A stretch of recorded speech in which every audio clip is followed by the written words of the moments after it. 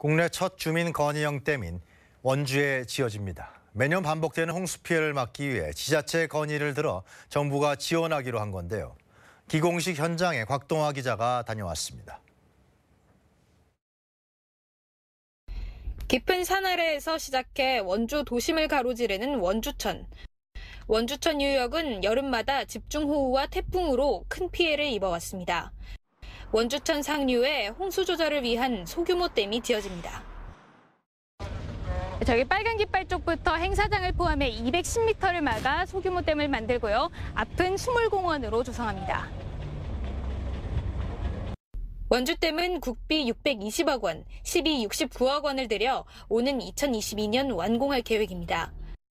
원주천 유역에 비가 많이 내리면 상류댐에서 물을 최대 180만 세제곱미터 저류한 후 하류 수위가 내려가면 조금씩 물을 방류하는 방식으로 홍수 피해를 줄여갈 예정입니다.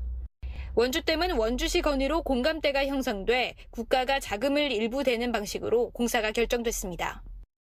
그동안에 많은 재해가 발- 발생해서 피해가 많이 있었습니다.